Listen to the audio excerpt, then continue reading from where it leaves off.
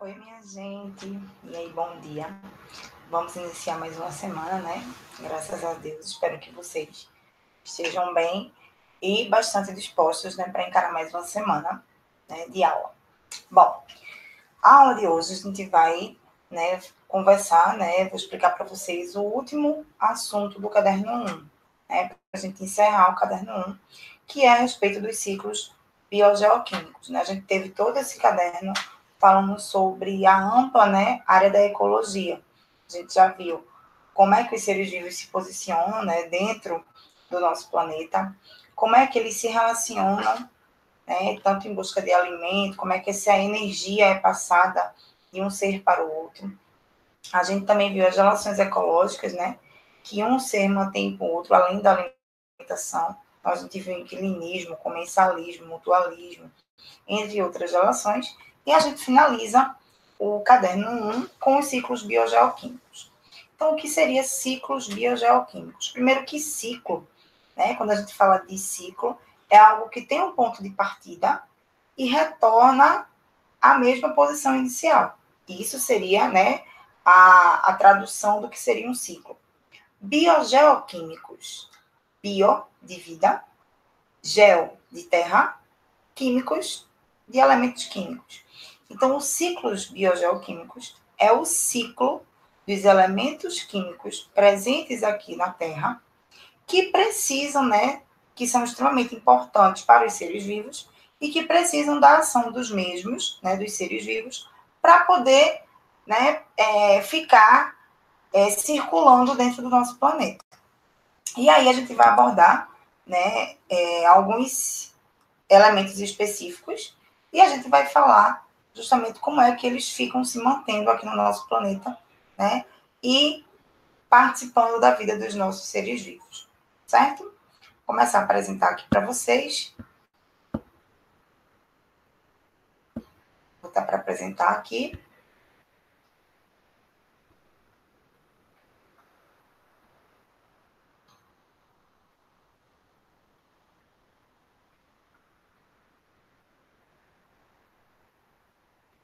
Momento.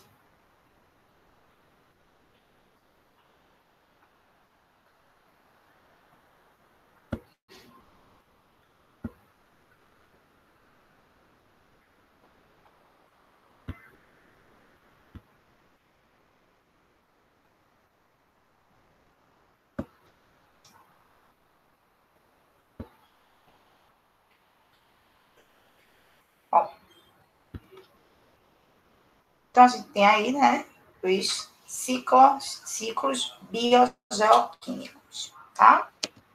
Bom, a gente vai abordar alguns elementos, né? Eu coloquei aí a água, o nitrogênio, o oxigênio, o carbono, mas ainda a gente tem o fósforo. Todos esses elementos são elementos químicos extremamente importantes para a sobrevivência dos seres vivos. Esses elementos químicos de uma maneira ou de outra, está presente dentro dos seres vivos.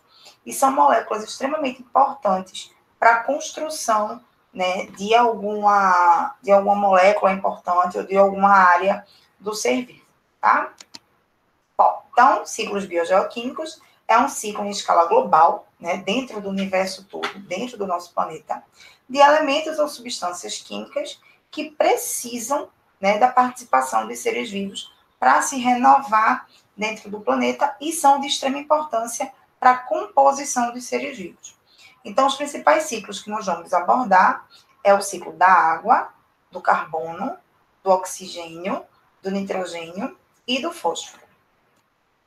Bom, antes da gente passar especificamente né, para o ciclo da água, a gente vai ter que analisar umas situações antes, tá? mas a gente vai dar início aí ao ciclo da água, vai ser o primeiro elemento que a gente vai discutir né, a respeito do seu ciclo. Bom, o ciclo da água, a água é o elemento que está em maior abundância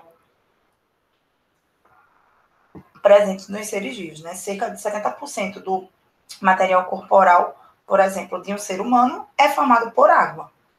75% da superfície da Terra é coberta por água. A gente vai discutir isso mais na frente, né, no próximo slide. Mas apenas 1% dessa água está disponível para o consumo. Onde é que a gente encontra né, reservatórios de água? Oceanos, rios e lagos. O homem, né, ele acaba participando né, desse ciclo, não de uma maneira. Ele vai participar de duas maneiras, tá? Tanto na renovação da água, mas também ele acaba é, fazendo com que esse ciclo ele possa ser interrompido, como no caso do desmatamento e da eutrofização. Bom, aqui eu estou mostrando para vocês um gráfico, tá? Onde a gente vai ver justamente aquela distribuição da água no nosso planeta.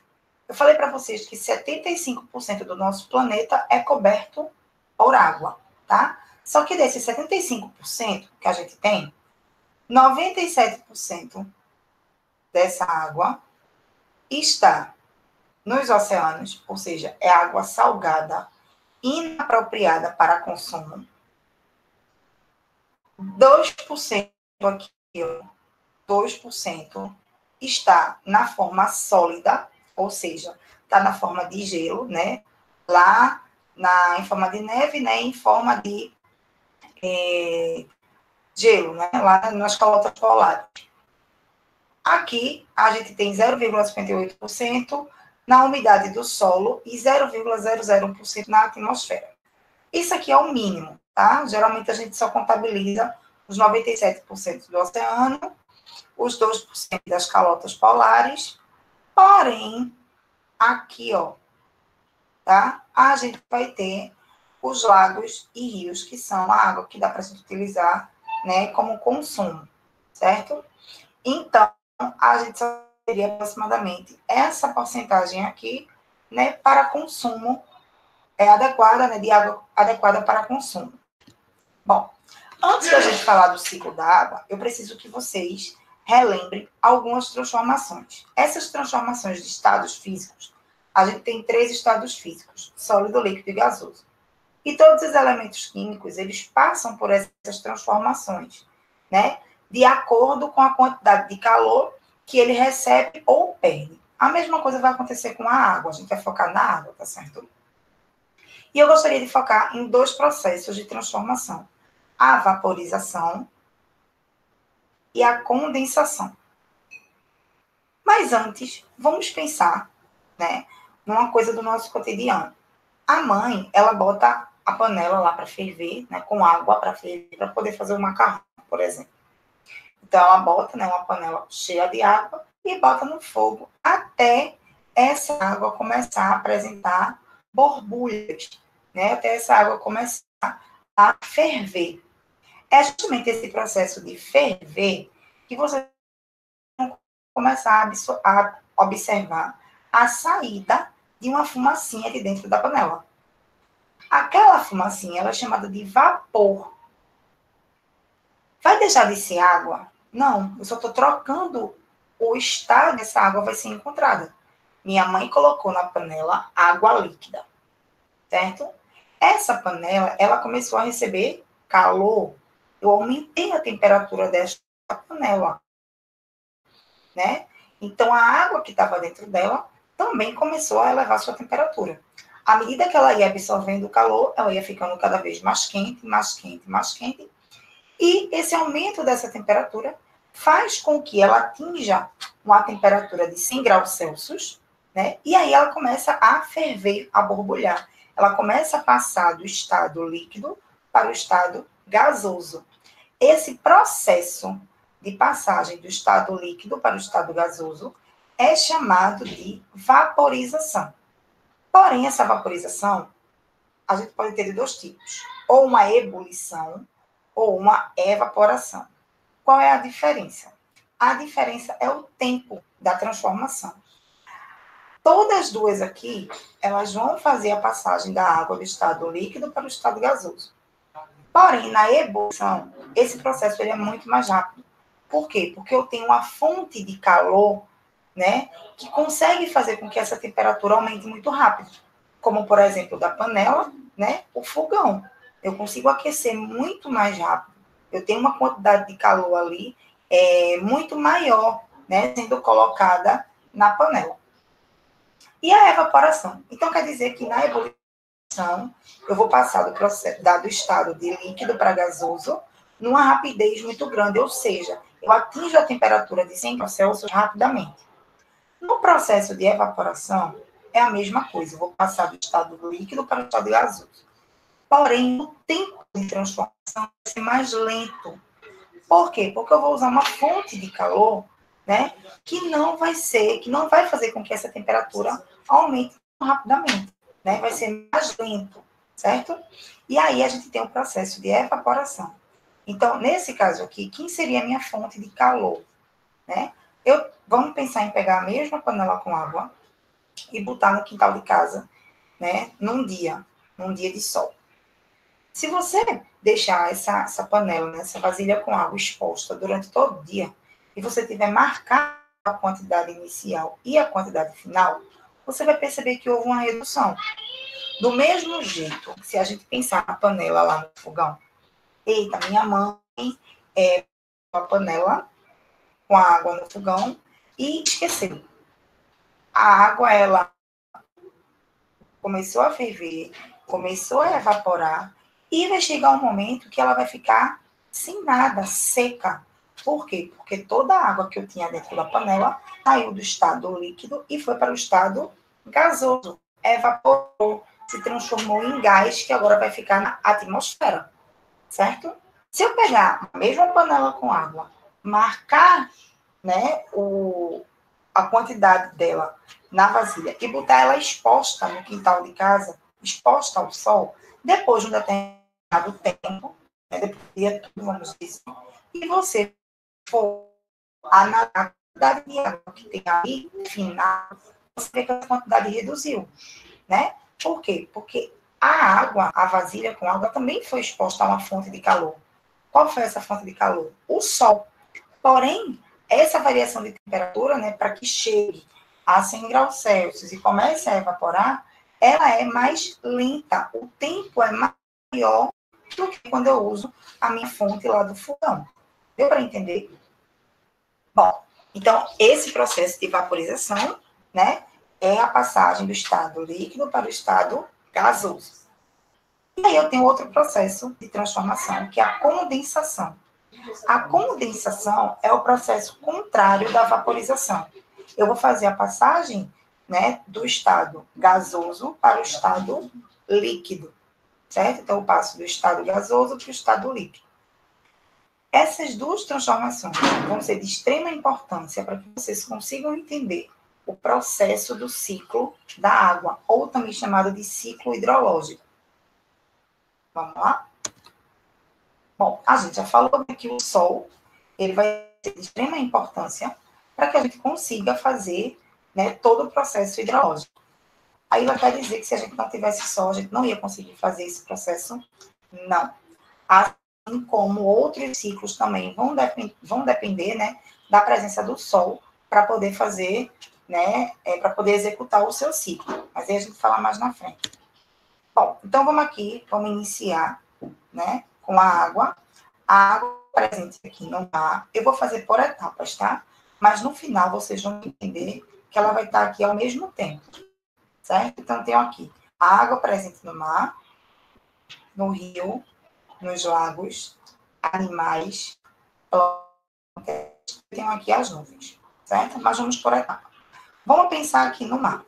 Então, o mar, né, com a presença do sol, né, com a presença do sol, esse mar, essa água que está aqui no mar, ela vai aquecendo. E à medida que ela vai aquecendo, ela vai evaporando.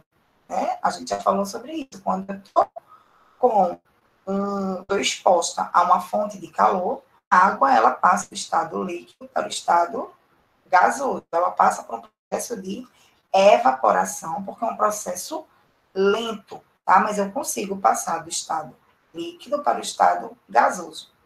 Essa, esse vapor de água ele vai se acumulando aqui na atmosfera e é o que vai formando as nuvens. Processo de evaporação, né? Vou formar as nuvens. Essas nuvens, em um determinado momento, estão tão ligadas por vapor de água, né? Que acabam precipitando. O que é precipitar? dentro da nuvem vai ocorrer a condensação, ou seja, dentro da nuvem vai ocorrer a passagem da água do estado gasoso para o estado líquido. E aí ocorreu a condensação e essa condensação acaba ocorrendo em forma de chuva. Ok? Então vamos lá, só para a gente repetir. O mar, ele foi exposto, né, ele está exposto ali aos raios solares, né, que vão aumentar a temperatura aqui da água, e essa água começa a evaporar. Ela passa do estado líquido para o estado gasoso. Esse vapor de água vai se acumulando e vão formando as nuvens, né? À medida que essa, esse vapor de água se acumula, em um determinado momento ela está tão, tão cheia, né?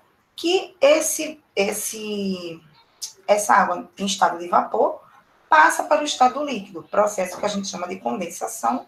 E aí, no estado líquido, a água começa a sair dentro da nuvem. E é a precipitação, ou seja, é a chuva, tá? Porém, às vezes, isso não precisa acontecer aqui em cima do mar, né? Porque se vocês perceberam, ela saiu do mar, condensou e voltou para o mar de novo, tá? Quando a chuva ocorreu aqui em cima do próprio mar. Mas, às vezes, essas nuvens, antes de ocorrer a chuva, elas ainda conseguem se movimentar na atmosfera. E aí ela pode vir né, a condensar, a precipitar em cima de morros, de florestas, de lagos, de rios. Tá? E aí ela condensou aqui, ó, e veio parar aqui no lago. Só que vocês lembram de lençóis freáticos, né? São lençóis, né? São estruturas abaixo do solo que contêm água. Então, esse lago aqui, através dos lençóis freáticos, pode fazer com que a água retorne para o mar. Assim também como o rio, né? Todo rio desemboca no mar. E aí, animais fazem o uso dessa água, né? Para é, fazer a ingestão. E eu falei para vocês que boa parte do corpo dos seres vivos é formado por água, né? Principalmente os seres humanos, principalmente os animais. Só que existe um processo pelo qual a gente passa que a gente também consegue liberar água. É o processo de transpiração. Quando a gente aumenta a nossa temperatura corporal, né, a gente está fazendo atividade física, por exemplo. A gente começa a correr, a se exercitar. Essa água, a gente aumenta a temperatura do nosso corpo interno, temperatura corporal interna. E, claro, a gente acaba aumentando a temperatura da água presente no nosso corpo. E aí, né, a gente, para manter né, a nossa temperatura, a gente começa a eliminar essa água em forma de gotículas de água na superfície corporal, que é o chamado de suor. Esse processo é chamado de transpiração. Então, quando essas gotículas de, água ficam em cima do nosso, da superfície corporal, né, do nosso corpo, depois de um tempo a gente percebe que a gente secou. Por quê? Porque a gente expôs essas gotículas aos raios solares que aqueceram elas e elas evaporaram. A mesma coisa acontece, por exemplo, quando chove na pista. Depois de um determinado tempo, está tudo seco. Por quê? Porque aquela pista ali, né, aquela rua, ela está exposta também aos raios solares que aquecem aquela água e fazem com que ela passe do estado líquido para o estado gasoso. Tá? Então, aqui, os animais transpiram, as plantas também vão transpirar e vão liberar água aqui no formato de vapor. Esse vapor, ele fica, esse vapor ele fica preso aqui nas nuvens e depois é eliminado né, na forma de chuva. Aqui a gente tem a água que passa, né, como eu já falei para vocês, do lago para o mar de novo. Mesma coisa vai acontecer com os rios. Epa! Pegar aqui. Bom, ele separa né, em pequeno e grande ciclo, tá? Mas é a mesma coisa, só para a gente poder, didaticamente falando, separar. Transpiração, né, que eu já falei para vocês, transpiração e respiração de plantas e animais também fazem com que ocorra a liberação de água, e essa água ela evapora, vai ficar lá acumulada nas nuvens, até que ocorra a condensação e a água retorne para tudo aqui tá? Para o mar, para o rio, para o lago. Bom, aí a gente fala um pouco né, da poluição, poluição de rios, de lagos, de mares, né, que é, a poluição por meio de esgoto, né, ela leva né, ao, a contaminar rios, lagos e mares, e o que pode desencadear ó, um processo né, de matança de animais, já que a água é tão importante para os seres vivos.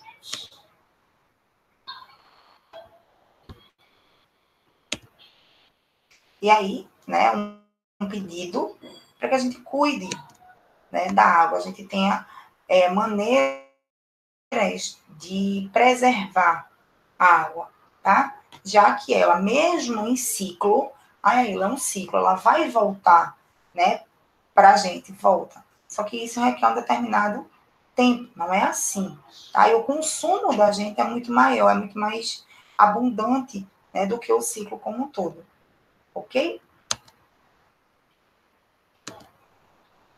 Bom, vamos passar agora para o ciclo do carbono. Né? O carbono também é uma substância química muito importante para os seres vivos. Tá? Eles compõem uma grande quantidade de moléculas essenciais para os seres vivos, como proteínas, lipídios, carboidratos, né? Todos são elementos, todos são é, substâncias que a gente adquire através da alimentação. Então, a gente vai começar aqui através do CO2 atmosférico. A gente tem aqui o CO2 é o gás carbônico, onde a gente vai ter o carbono e o oxigênio, tá? Então, a gente encontra o gás carbônico presente na atmosfera. Esse gás carbônico, ele vai ser absorvido pelas plantas, né? Através da respiração das plantas. As plantas, elas fazem o processo de respiração contrário ao nosso. Né? A gente, os seres humanos, os animais, a gente absorve oxigênio e libera gás carbônico no nosso processo de respiração. As plantas, elas fazem o contrário. Através da fotossíntese, né, um processo do qual ela vai adquirir energia e também fazer a respiração, ela absorve o gás carbônico presente na atmosfera e libera para a gente oxigênio, certo? Bom, as plantas, elas vão ter, né, elas vão absorver o gás carbônico através da fotossíntese, como eu já falei.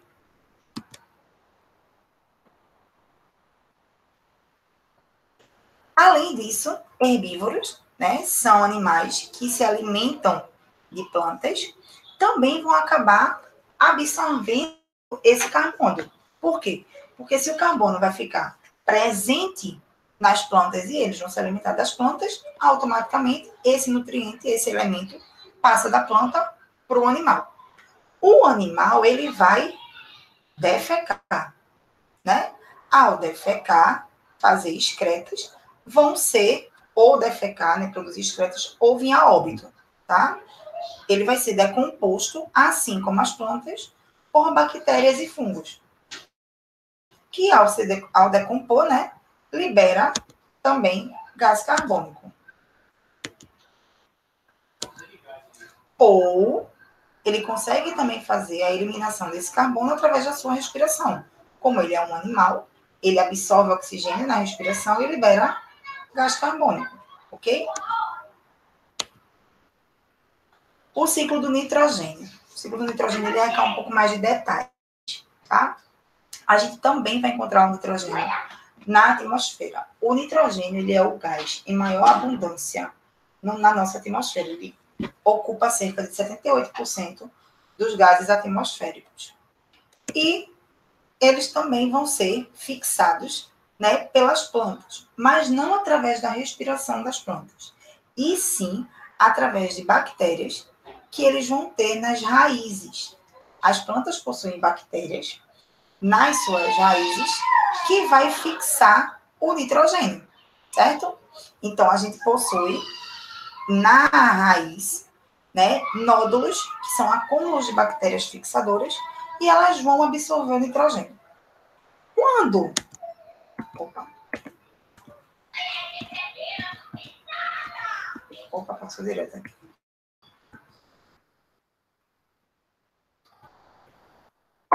Aqui, tá? Depois eu volto para o efeito estufa. Aqui.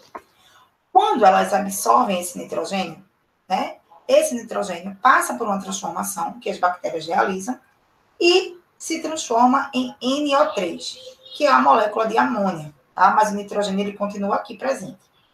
Essa molécula de amônia, ela pode ser absorvida por algumas plantas e vão servir de alimento para animais herbívoros, que vão fazer excretas ou podem morrer e vão ser de novo decompostas por bactérias, que mais uma vez ó, transforma esse nitrogênio em amônia. Ou eles podem seguir um outro curso e bactérias nitrificantes transformam a amônia em outra substância que também contém nitrogênio, que é chamado de nitrito. Esse nitrito, né, ele passa por um processo de nitrificação que vai ser feito por uma bactéria específica chamada Nitrobacter. Essa Nitrobacter transforma o nitrito em nitrato. Esse nitrato, ele também pode ser absorvido por raízes de plantas ou ele pode passar por um processo, né, realizado por bactérias desnitrificantes, ou seja, que vão fazer o processo oposto e vão transformar o nitrato em nitrogênio. Então vamos lá. Eu quero que vocês percebam que dentro de um ciclo eu posso ter várias ramificações, tá? Eu posso fazer com que esse é, elemento ele fique circulando em várias áreas. Vou repetir. A gente tinha aqui o nitrogênio atmosférico, gás presente na nossa atmosfera. Esse gás, ele vai ser assimilado por plantas, mas não através da respiração, e sim através das suas raízes, que contêm bactérias fixadoras de nitrogênio, tá? Essas bactérias, elas vão fazer com que esse nitrogênio passe, né, de nitrogênio para amônia. NO3. Essa amônia, algumas plantas, não são todas, elas podem absorver essa amônia. Se for absorvida por, por essas plantas, né, a amônia vai ser consumida por alguns herbívoros. Esse herbívoro, com a amônia, pode eliminá-la através de excrementos, ou, ela, ou ele pode morrer, né, e ser decomposto por bactérias que vão devolver essa amônia para o solo. Ou pode seguir outro caminho, né? Bactérias chamadas de nitrossomos podem transformar a amônia em nitrito. Esse nitrito, né, ele não é absorvido. Você pode ver que ele não é absorvido por nada, nem por planta, nem por animais, nada. Para ele voltar para o ciclo, ele precisa passar por um processo chamado nitrificação que é realizado por uma bactéria específica chamada Nitrobacter. Essa bactéria faz com que esse nitrito se transforme em nitrato. Esse composto, sim, vai ser absorvido por outras plantas e passado né, para animais que podem fazer, é, devolver em excrementos ou morrer ser decompostos por bactérias e volta de novo a ser amônia, ou ele pode, né, ser utilizado por bactérias desnitrificantes, fazer o processo contrário da nitrificação. Né? A nitrificação fez com que se transformasse em nitrato e a desnitrificação faz com que o nitrato seja passado de novo para nitrogênio, que vai estar lá presente de novo na atmosfera e continua todo o ciclo, ok? Aqui eu tenho só uma imagem, tá? Para mostrar para vocês os nódulos das bactérias presentes nas raízes de algumas leguminosas, tá? Bom, aqui eu tenho um, um esquema mais simples, podemos assim dizer. Né? Eu tenho nitrogênio aqui na atmosfera, que ele vai ser fixado pelas raízes de plantas, né? Através de bactérias fixadoras, que transformam esse nitrogênio em amônia. A amônia ela vai ser transformada em nitrito. O nitrito vai ser transformado em nitrato, que é absorvido né, por plantas também, né, assim como a amônia. Quando é absorvido por plantas, esses animais que se alimentam dessas plantas vão adquirir esse nitrato e podem eliminá-los de volta para o solo através da excreção ou através da sua morte, né? Onde as bactérias vão decompor e vão transformar esse nitrato de novo em amônia. E aí ela pode repetir o mesmo ciclo aqui, ó. Ou esse nitrato, ele pode passar por um, uma desnitrificação, né? E ele volta de novo a ser nitrogênio. Ok? Ciclo do oxigênio. O ciclo do oxigênio ele é bem parecido com o ciclo do carbono, tá? A gente utilizava o gás carbônico, né, como início, e aqui a gente usa o oxigênio presente na atmosfera também como início. Então, a gente tem aí o oxigênio presente na atmosfera, ele é usado na respiração, tanto dos animais, né? Eles vão ser usados no processo de inspiração, e no caso das plantas, ele vai ser né, formado através do processo de expiração. Ele vai ser utilizado no processo de expiração. Bom, então esse é, esse oxigênio, através do processo de respiração, ele libera gás carbônico, né? Ok? A gente inspira oxigênio e elimina gás carbônico, que vai ser utilizado ó, lá no ciclo né, do carbono, utilizado pelas plantas. Ó, o oxigênio atmosférico é usado na respiração animal, libera gás carbônico. Esse gás carbônico é utilizado na respiração da planta e depois libera aqui oxigênio de novo, tá? Mas vamos seguir aqui esse caminho. Então, lá na respiração animal, tá? Ele é utilizado e o animal ele também transpira. Então, esse oxigênio, ele volta para a atmosfera através de vapor de água, tá? Oxigênio aqui, ó.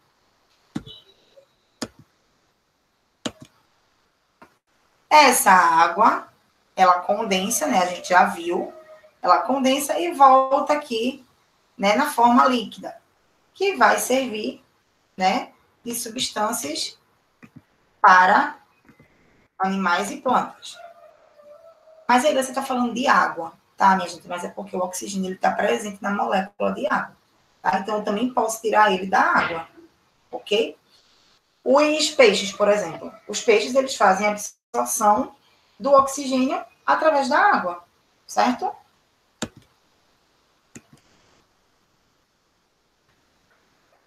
Então, aqui, ó, eu tenho oxigênio atmosférico, vou voltar, tá? oxigênio atmosférico, que vai servir na respiração dos animais.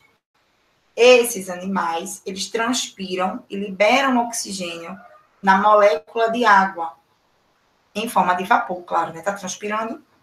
Essa água, ela condensa e ela volta na forma líquida, que vai ser absorvida por plantas e, consequentemente, por animais que se alimentam dela. No caso de morte tanto da planta como do animal, micro-organismos decompositores fazem a absorção do oxigênio e liberam aqui, ó, na forma de transpiração do solo. Né? O solo é úmido. Ou essa planta, ela pode fazer a transpiração, onde ela absorve gás carbônico e libera oxigênio. Ok? Bom, o ciclo do fósforo. O fósforo, ele é de extrema importância, porque ele compõe, né, uma das principais moléculas do corpo dos seres vivos, que é o DNA. A gente precisa do fósforo para poder ter essa molécula de DNA. Ele é encontrado principalmente em rochas sedimentares marinhas, né? Ele é encontrado na fórmula de fosfato, certo? O que é que vai acontecer? Essas rochas, elas sofrem a ação do intemperismo. Não sei se vocês lembram dessa palavra. Intemperismo são fenômenos né, naturais que acontecem e que vão soltando partículas de rochas. Ou seja, vento, ondas, chuva, entra em atrito, entra em contato com as rochas sedimentares e fazem com que elas liberem partículas, decompõem essas partículas e acabam liberando o fosfato.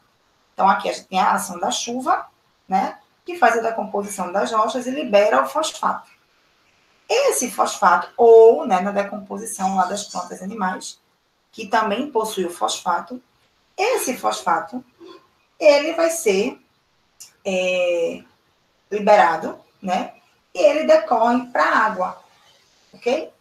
Lá na água, ele vai se sedimentando, né? Essas partículas de fosfato vão se sedimentando umas sobre as outras e vão formando novas rochas sedimentares, que em algum determinado momento vão ficar expostas de novo e vão passar pelo mesmo processo de intemperismo, ok?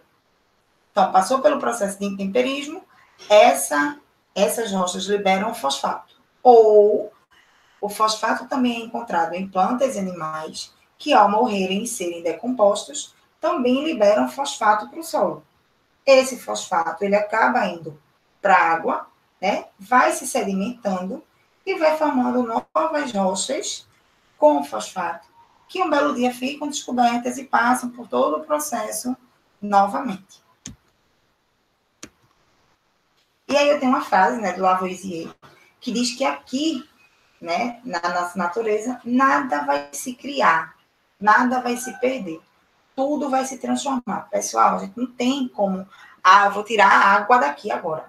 Não, não vou tirar a água. Se a água desapareceu, né, lembrando lá do caso da panela que a mãe bota no fogão, se a água desapareceu daquela panela, ela não sumiu. Eu não perdi, tá?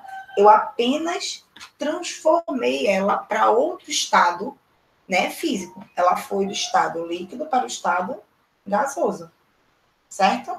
Do mesmo jeito que eu pegar uma caçamba de gelo, né, encher com água e botar no congelador. Eu criei ali, eu fiz ali um processo químico no qual eu transformei água do estado sólido, do estado líquido para o estado sólido. Eu não fiz nenhum processo químico, eu fiz um processo físico. Eu mudei a composição química daquele elemento? Não ele não deixou de ser água, certo? Eu apenas mudei o seu estado físico. Então, o que é que a gente leva, né? Que na natureza nada se cria, nada se perde, tudo se transforma. Desses gases que a gente falou, carbono e nitrogênio, principalmente, né? É, eles são responsáveis, principalmente o carbono, tá? Deixa eu voltar aqui. Eles são responsáveis por um efeito que a gente chama de efeito estufa. Tá? Principalmente o gás carbônico, tá? O gás carbônico, ele é considerado um, um gás estufa, né? Ele também, aqui, ele pode se transformar em monóxido de carbono, que é o CO, dióxido de carbono, que é o gás carbônico, e esses gases, eles são chamados de gases estufas. E o que é o efeito estufa sentido aqui na nossa na nossa atmosfera, né? Para a gente. O Sol emite seus raios solares, ok? Porém, essa radiação, só uma parte dela vai passar a atmosfera e vai ser absorvida pela superfície terrestre, e vai aquecer a superfície. Outra parte vai ser refletida. Por quê? O gás oxigênio, quando a gente utiliza três moléculas de gás oxigênio, a gente passa para um outro gás, que é o gás ozônio. E eu acredito que vocês, né, lá no sexto ano, vocês lembram que a gente falou sobre a camada de ozônio. A camada de ozônio é uma camada de gases, né, que faz como, como se ela fechasse a superfície, né, da atmosfera terrestre. E ela impede que todos os raios que vêm para o nosso planeta ultrapassem e sejam todos absorvidos pela atmosfera, o que daria um aquecimento muito alto para a Terra. Então, o fato da gente não aquecer totalmente, né, não aquecer assim em grandes temperaturas, é devido à camada de ozônio, que fazem com que metade desse, metade ou boa parte desses raios solares sejam refletidos, sejam mandados de volta para o espaço. Só que, se já acontecia, né, essa nova reflexão aqui, ó, agora se tornou uma coisa mais comum, né? Porque a gente tem um buraco na camada de ozônio. À medida que a gente tem um buraco na camada de ozônio, né, essa camada protetora, ela abre espaços e, ao ter espaços, esses raios passam com a maior incidência. Por isso que, de uns tempos para cá, a temperatura do nosso planeta vem aumentando gradativamente, né, devido à destruição da camada de ozônio. E essa destruição acontece por causa de quê? Por conta desses gases estufa, por conta desses gases que são liberados em grande escala de uns anos para cá.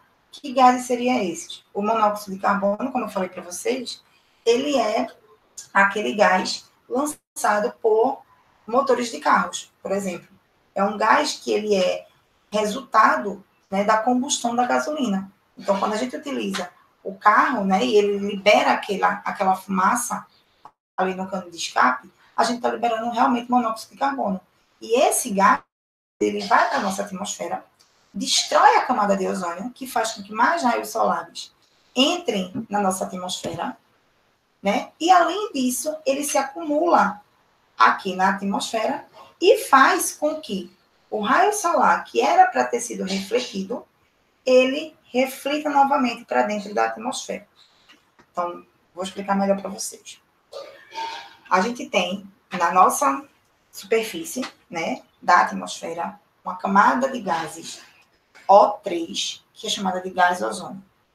Essa camada faz com que a gente absorva apenas o essencial dos raios solares, apenas o necessário, né? Imagina se a gente não tivesse essa camada protetora. Todos os raios que fossem enviados do Sol, todos seriam absorvidos. Ou seja, a gente teria uma temperatura aqui muito alta. Então, devido a essa camada, graças a essa camada né, de ozônio, a gente apenas recebe uma parte, né, apenas a parte essencial de é, raios solares. Porém, com o passar dos anos, né, as indústrias, né, os automóveis foram se aperfeiçoando e gases poluentes foram sendo mandados para a atmosfera, certo? E aí, esses gases, eles têm duas funções. Uma, eles conseguem destruir, né? eles conseguem abrir espaços na camada de ozônio. E esses espaços fazem com que entre uma quantidade maior de raios solares, o que de uns anos para cá aumentou a temperatura do nosso planeta. Além disso, esses gases, chamados de gases estufa, gases poluentes, eles causam um. Como é que eu posso dizer? Eles causam um. Ai, me fugiu a palavra, minha gente. Ai, eles causam. Menina, fugiu mesmo. Eles causam uma mudança climática, né? Eles causam uma, uma condição climática diferenciada. Né? Eu vou criar aqui o que a gente chama de efeito estufa. Por quê? Os raios solares vêm e eram para ser refletidos. Porém, eu tenho uma quantidade tão grande de gases poluentes, de gases estufas, que eles impedem a saída né, desses gases que foram refletidos. Então, quando esses gases são refletidos e tentam voltar para o espaço, batem na camada dos gases estufa e retornam para a atmosfera. E aí fica aquela sensação né, de calor, de mormaço que a gente tem. Né? Se a gente lembrar a efeito estufa, a gente lembrar aquelas estufas que vêm em coxinha, ela tem a, a função de quê? De manter aquilo ali quente. Então, esse efeito estufa, esses gases estufa, eles fazem com que a atmosfera né, retenha o calor, fique com calor aprisionado aqui. E aí a gente tem uma sensação térmica, né, uma temperatura muito maior. Foi clara? Deu para entender? Né? Então, assim, a gente precisa regular, né? É, de acordo com quando a gente viu agora os ciclos biogeoquímicos, a gente percebe que toda interferência humana na poluição atmosférica, na poluição é, da água, vai interferir nos ciclos biogeoquímicos. E percebam que em todos os ciclos, né, todos os elementos são de grande importância para os seres vivos para os animais, para as plantas, para os seres humanos. Então, à medida que a gente causa né, uma desorganização nesses ciclos, a gente poluindo os rios, poluindo os lagos, poluindo os mares, liberando gases poluentes, né, a gente acaba né, tendo uma visão de que lá no futuro, né, no futuro não tão distante, até porque a gente já está passando por isso, a gente vai ter consequências enormes, catastróficas, né? Porque com isso aqui, ó, com isso aqui, a gente já falou de destruição da camada de ozônio, a gente já falou de efeito estufa, aumento da temperatura né, global do nosso planeta. Quando a gente aumenta a temperatura, a gente está mais exposto aos raios solares, que podem gerar câncer de pele, né? O que faz com que o aumento da temperatura derreta as calotas polares. Essas calotas polares, ao derreterem, elevam o nível dos oceanos, o que pode causar mais na frente né, inundações.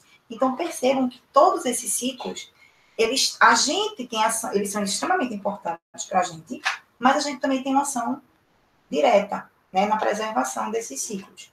Então, uma questão agora né, de, de conscientização é que a gente mantenha né, padrões de preservação da água, dos rios, dos lagos, dos oceanos, das plantas, tá? Para que todos esses ciclos, esses elementos tão importantes, continuem existindo, né? E formando moléculas de seres vivos de maneira geral, tá?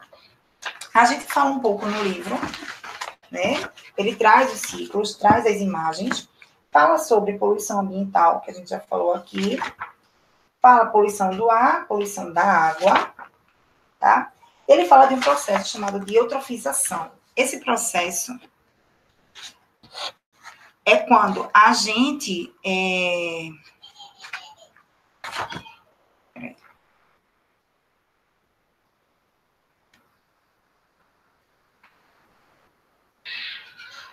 quando a gente acaba lançando esgoto não tratado né, na água, acaba indo muitos detritos, né, muitas substâncias. E aí ocorre é, aumento de algas. Né? Essas algas elas vão consumir o oxigênio né, no local e acaba diminuindo a quantidade de oxigênio disponível para outros seres. Então, a, as algas elas se é, desenvolvem, elas se reproduzem em grande escala, né, por conta da presença desses detritos em, em substâncias que vão conter nitratos, que vão conter é, fosfato, e aí elas acabam se desenvolvendo rapidamente e, claro, né, algas e plantas se utilizam de oxigênio para fazer sua respiração. Então, se dentro de um lago eu vou ter uma grande quantidade de algas, né, elas vão fazer a absorção de boa parte do oxigênio presente nesse lago.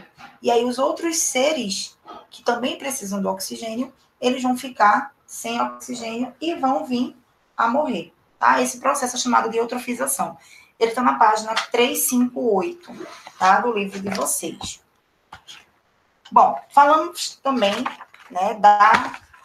É, o livro também traz a poluição do solo, né, através da erosão, através do lixo que a gente acaba né, despejando no solo sem uma separação. Né, a gente sacode tudo no solo e o solo acaba absorvendo aquilo ali. Então, imaginem, voltem lá para o ciclo da água e lembrem dos lençóis freáticos.